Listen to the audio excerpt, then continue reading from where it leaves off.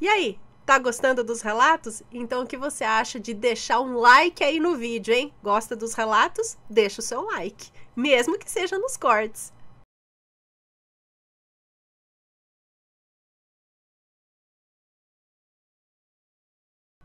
Vamos então ao relato Minha Vizinha é uma Bruxa? É uma moça que nos conta. Olá, Ana e Matheus, meu nome é Fulana, tenho 21 anos e moro no Paraná. Desde pequena, eu sempre gostei de brincar na terra e ficar horas e horas fora de casa brincando com os meus amigos. Desde muito pequena, eu sempre tive a mesma vizinha. Ela nunca se mudou. Ela é uma senhora de cerca de 60 anos que tem hábitos estranhos e filhos complicados.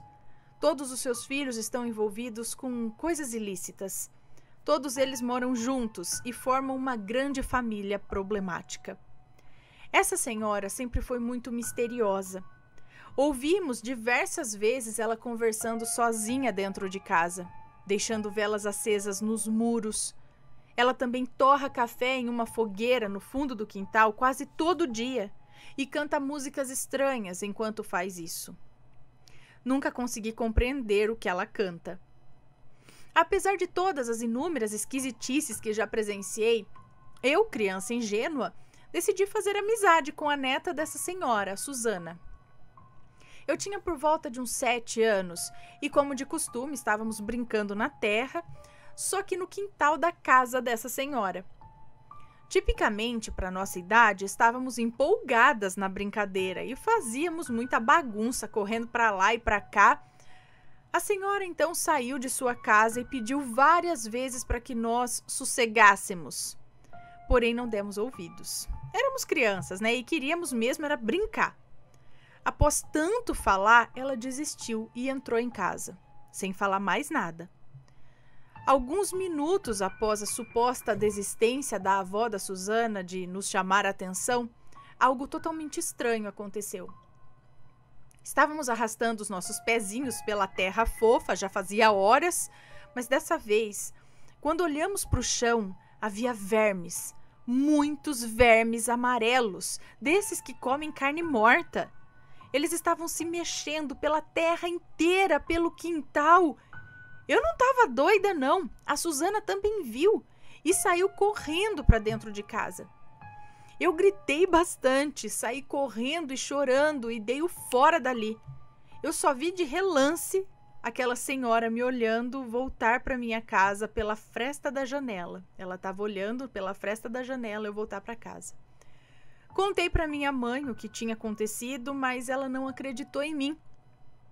Eu nunca mais voltei lá também. Nunca mais brinquei com a garotinha, mas sempre que eu passo próximo a essa senhora, ela sempre me cumprimenta com um Olá, minha princesa, e um sorriso. É muito sinistro e eu respondo apenas por educação. Eu morro de medo dela. Outro fato aconteceu recentemente.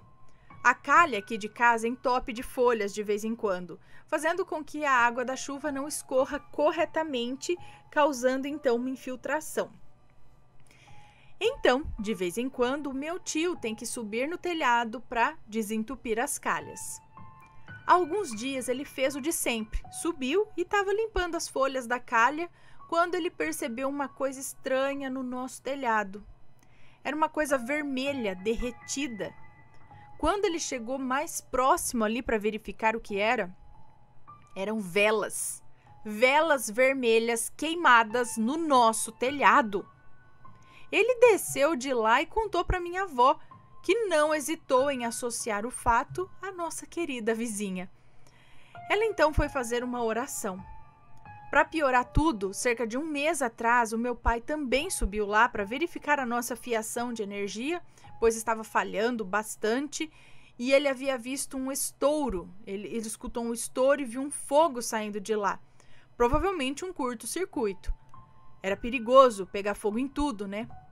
A questão é que quando ele subiu lá, os fios de energia haviam sido cortados e não simplesmente dado um curto. Mas será não foi rato que mordeu e cortou? Sei lá, não sei se tem essa, essa né? possibilidade foi cortado com tesoura? Olha, eu não consigo mais dormir direito. Eu ouço barulho de passos no telhado todas as noites e me convenço com muito custo de que são os gatos brincando. Mas e se não for? E se ela estiver por lá, caminhando e tentando fazer alguma coisa de novo? Seria ela uma bruxa? Vá saber, né? Vai saber que, que coisas essa mulher faz aí, né? Na casa dela, no quintal dela, até no telhado do vizinho. Gente, acendeu uma vela no telhado. Que jeito que a mulher colocou a vela lá? Ou, né, vai saber, materializou uma vela em cima do telhado da, da moça. Credo! Você conhece alguma bruxa? Do bem? Do mal? Conte o seu relato pra gente, ok? Me conta, gostou do relato? Então o que você acha de deixar um comentário aqui embaixo, sempre com respeito, por favor, além do like, é claro.